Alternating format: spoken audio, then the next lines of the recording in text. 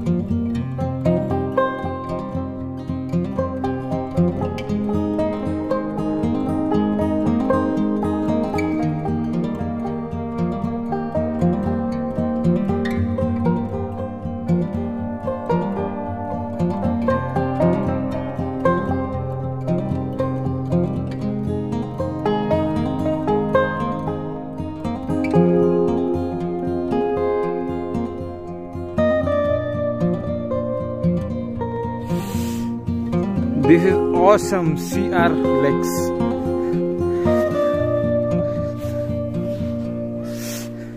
It's so deep.